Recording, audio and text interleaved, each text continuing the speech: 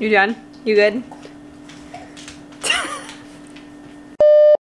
I've had to stop this like four times already. Okay guys, welcome back. Today I thought I'd share with you another one of my favorite one skillet meals, um, homemade hamburger helper. And I like to use game meat, but you can use any kind of ground meat. You can use chicken, beef, turkey, I mean anything. Um, sausage, I've even done that before. Um, and this is another one of those meals where like, if you don't have a lot of meat, you can just add more pasta or you could even add in like some leftover rice at the end or something like that, add a little more veggies. So you can play around with it. Um, you don't have to follow the ingredients to the T, obviously. I mean, I don't really, I just kind of throw it all together, but. All right, so let's get this started. So I got my skillet on about medium heat. And I'm just gonna add a drizzle of bear grease. You can use oil, butter, whatever you got. Then here I'm gonna add a pound of uh, ground deer.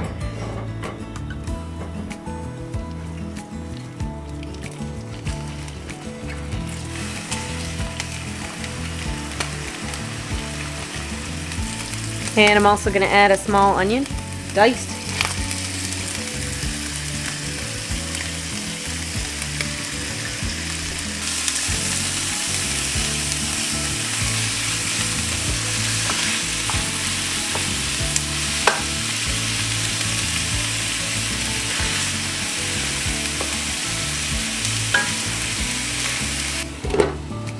Lid on that, let that brown up, stir it occasionally. Um, this lid doesn't go with my skillet. I actually took it off the top of my big uh, stock pot. If you don't have a lid that fits your skillet, you could also use just a cookie sheet, which is what I used for a long time till I got that stock pot. So, and that's a 12 inch skillet by the way.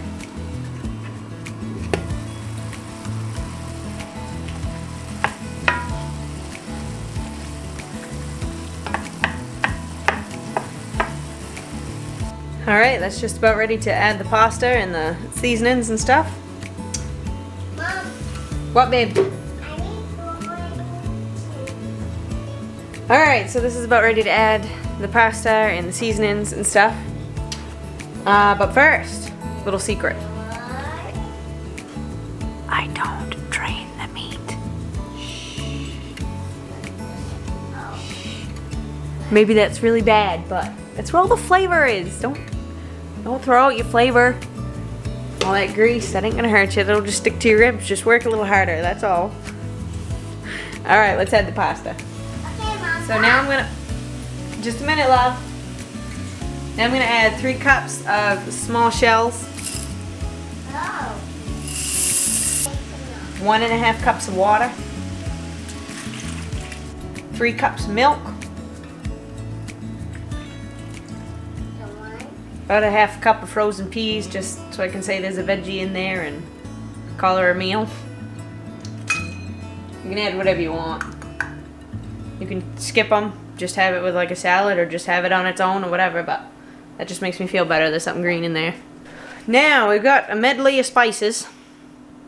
There is seasoned salt, black pepper, oregano, parsley, garlic powder, chili powder,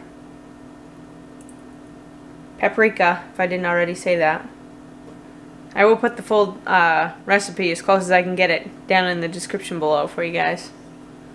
Now I'm just gonna carefully stir this.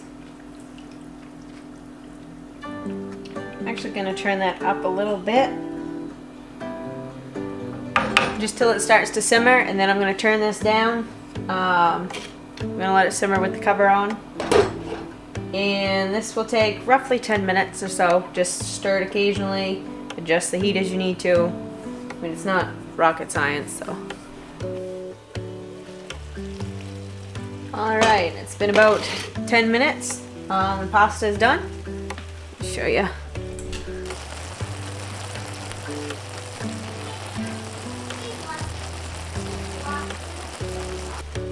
Alright, now I'm gonna add some uh, shredded cheddar. Uh, it's probably like two and a half cups. Last time I made this, I just had a Mod Podge of cheese. I had um, I had a little bit of mozzarella, a little bit of cheddar. Um, I had some Parmesan and like one slice of American cheese. So you just use this to, it's a good chance to use up some more odds and ends of stuff. It all comes out fine. Turn the heat off. Fountain. Alright, just get this all stirred in.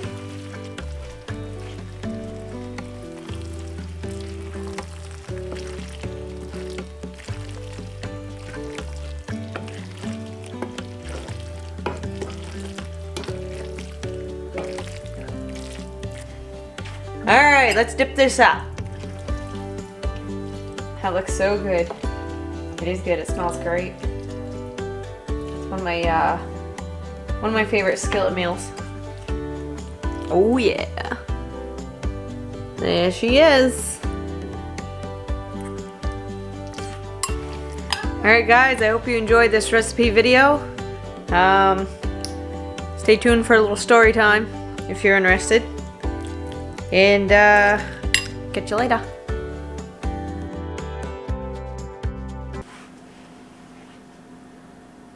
This is Coca. Where's your little Coca? Don't you bite me. So this is Coca. Um, Charlene named him. I asked her, I said, what's his name? She says, hmm, Coca. I'm like, okay. Always washing his little face. So, we did not get a mouse at the pet shop. What happened was, last week, um, I believe it was Wednesday, I got up in the morning and I had caught a mouse in the mouse trap. First one we caught in a while. And um, I was like, good, alright, we got rid of that. So Wednesday morning, caught a mouse in the mouse trap. Thursday morning, I get up and I go in the bathroom and there is a baby mouse on the floor. And if I find the picture, I'll put it in here. But I honestly, when I, when I first saw it, like I turned the light on and there it was, I was like, oh man, I thought it was dead. So evidently, I'm guessing it was Mama that we caught the day before. So there he was, laying there, barely breathing. And um, so I picked him up. And I was feeding him with a Q-tip. I'd dip a Q-tip in warm milk and I'd feed him like every two hours. His eyes were almost open, but not quite. So about every two to three hours, I would dip a Q-tip in warm milk and feed him. And um, put him in a little cardboard box with uh, one of those little hand warmers. And then Friday morning, Jackson found two more baby mice outside the bathroom doors. Like they had um, kind of wandered around. Their eyes weren't open and one of them didn't last long after we found it. And then the other one, he probably only lived about half a day. It was just too late for those guys. They'd been like another whole day without any care. I was just like, alright, so starting a, you know, a mouse, baby mouse daycare really wasn't on my list of things to do. but I couldn't just kill it, like, yeah, I don't want mice in the house, but I couldn't just kill him because, I mean, it's a baby. just a little baby and he doesn't have a mama. I'm a sucker, I know. So, we have Coca. I told Joe, because he came home Friday night, and we showed him the mice, and I said, I whispered it to him so the kids wouldn't hear me, but I said, if you find any more, please just get rid of them and don't tell me. Because, I mean, the reality is, I don't want them in the house running around, of course. Because they can cause a lot of damage. But, I can't just kill baby. I'm a sucker. Um, so I guess he's a pet for now. And uh, the kids love him. He's getting pretty active now. He's probably, I don't know, he's probably like three weeks old, maybe. He just opened his eyes a couple days ago, so he can't be that old. Three weeks, maybe. No more than. Yeah, he's probably almost three weeks old, I guess. So anyway, we have a little Coca. And yeah, we all we all wash our hands after we're done handling him too, of course. I mean, he's a wild animal and we don't know. Oh. I know you hear him squeaking, don't you? So that's that story. So we currently have a new member of the family. so yeah, that's just a little story of the day. He's really cute. Oh. Probably gonna go right up my sleeve.